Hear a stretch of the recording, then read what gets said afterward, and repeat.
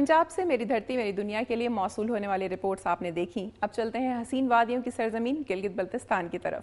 नाजिन land sliding के बायस अताबाद के इलाके में बनने वाले कुदरती झील ने इलाके के मकीनों के लिए न सिर्फ़ माली, बल्कि जानी खतरे के खदशात पैदा कर दिए हैं। कुदरती झील बनने से पैदा होने वाले मसाइल से निमटने के लिए दुनिया न्यूज़ के तावन से एक टॉक शो का अहतमाम किया गया, जिसमें शुरा ने मसाइल से निमटने के लिए कई हल तजवीज़ किए। मजीद तफसील जानेंगे इकराम नजमी से। A K R S P R S P N देवाको productions और दुनिया टीवी के रिपोर्टिंग टीम की ताउन से करीमाबाद हंजा के एक मुकामी होटल में अताबाद सानी है और इससे पैदा होने वाले मसाइल पर एक टॉक शो का इनका हुआ।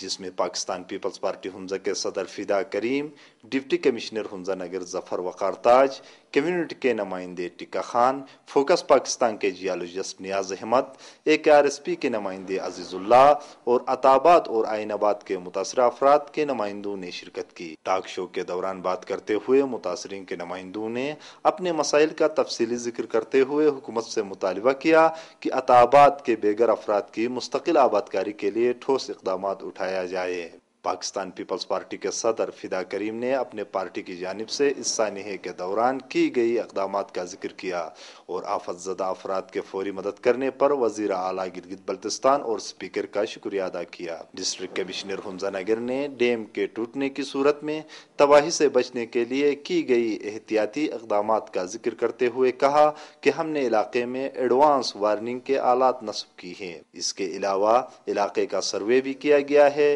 डैम के फ़िलहाल टूटने का कोई खतरा नहीं। अगर नागहानी सूरत हाल पैदा हो जाती है तो इससे निमरदजमा होने के लिए हुकूमत ने तमाम तैयारी की हुई है।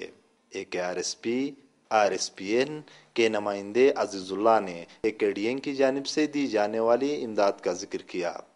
इस टॉक शो के नकात में A K R S P R S P N की माली मावनत और दुनिया टीम की तकनीकी मदद पर दिवाको प्रोडक्शंस के चेयरमैन और मेम्बरान ने ए के आर एस पी और दुनिया न्यूज़ का शुक्रिया अदा किया। कैमरामैन गाजी करीम के साथ इकराम नजमी, दुनिया टीवी वादी होगा गिलगित बल्तिस्तान के बाद अब आपको लिए चलते हैं जन्नत नजीर वादी कश्मीर की जानब, जहाँ दुनिया भर की तरह नर्सों का आलमी दिन मनाया गया है और नर्सों को दरपेश मसाइल का जायजा ले रहे हैं ताजीम यासीन अपनी इस रिपोर्ट। में दिन हो या रात, मामूल के मरीजों की देखभाल हो या किसी इमरजेंसी की सूरत में ज़िंदगी बचाने की दौड़, सेहत के इस शोबे से वाबस्ता ये तबका हर दम तैयार रहता है। लेकिन माशरे में इन नर्सों को वो इज़्ज़त व मकाम हासिल नहीं, जितना इस पेशे का हक है। जफराबाद के एक सरकारी अस्पताल में काम करने वाली स्टाफ नर्स नबीला का कहना है कि इमरजेंसी सर्विस फराम करने वाले इस पेशे से वाबस्ता खातन को वो मराहत हासिल नहीं है, जितनी अहम इनकी जिम्मेदारियाँ हैं। आज़ाद कश्मीर में इस वक्त 700 नर्सों की ज़रूरत है, जबकि सिर्फ़ 260 नर्सें मैसर हैं, जिसके बायस इन पर अजाफी काम का बोझ भी है। और नर्सों की कम तादाद के बायस मरीजों की सही देखभाल भी नहीं हो पा रही है। नर्सों को अक्सर अजाफी काम भी करना पड़ता है, लेकिन इनको कोई अजाफी मुआवजा दिया जाता है, न ही हुकूमती सतह पर कोई पॉलिसी जेर गौर है। हुकूमत की अदम दिलचस्पी के बायस इस पेशे से वाबस्ता खातन में बेयकीनी की कैफियत रोज बरोज बढ़ती जा रही है। सेहत के शोबा में नर्सिंग का पेशा रीढ़ की हड्डी की हैसियत रखता है, लेकिन बदकिस्मती से हमारे मुल्क में इस पेशे पर उतनी तवज्जो नहीं दी जा रही जितनी इसकी अहमियत है। कैमरामैन मोहम्मद नवीद के साथ ताज़ीम यासीन, दुनिया न्यूज़, मुजफ्फराबाद।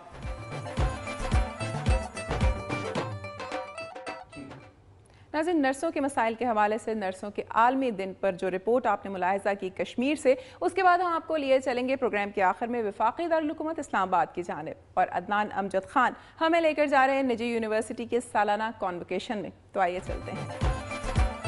इस वक्त मैं मौजूद हूँ इस्लामाबाद में कन्वेंशन सेंटर में, जहाँ पर बहरिया यूनिवर्सिटी के जेर एहतमाम छठे कानवोकेशन का अहतमाम किया गया है। कानवोकेशन की सदारत बहरिया यूनिवर्सिटी के प्रो चांसलर और पाकिस्तान बहरिया के सरबरा एडमिरल नुमान बशीर ने की। अपने खिताब में पाक बहरी के सरबरा ने तालब इलमों को हिदायत करते हुए कहा कि वो अपनी तमाम तर तवज्जो और तोानाइयाँ तालीम पर सर्फ करें, क्योंकि इस वक्त पूरी कौम की नज़रें नौजवानों पर लगी हुई हैं। और अगर तालब इलम चाहें तो पूरे मुल्क की तकदीर बदल सकते हैं। उन्होंने हायर एजुकेशन को मुल्क की मीशत के इंजन से ताबीर करते हुए कहा कि तारीख गवाह है कि उन कौमें ने ज़माने में अपना नाम रकम किया है, जिन्होंने तालीम को अपना शुआर बना लिया।